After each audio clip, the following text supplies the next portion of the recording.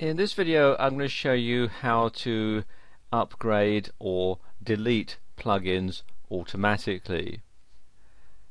First thing to do is to go to the main plugins page, so select plugins from the side menu here.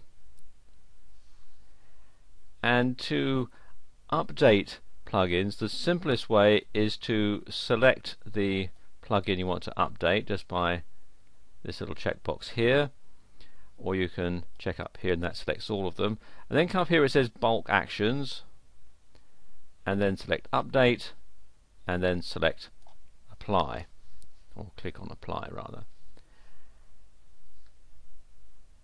And here we go. It's telling me that my plugin all these plugins are the latest version which is what I would expect because this is a brand new install however if I'd had this blog running for a couple of months, then some of the plugins may have gone out of date by that time, and then I could simply update them uh, very easily just at that one click.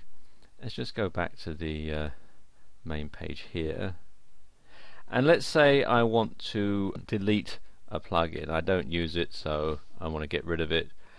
I can do it either the same way I can select the checkbox and then select from the menu here or I can just simply click on the delete button here or delete tab there and it says are you sure you wish to delete these files?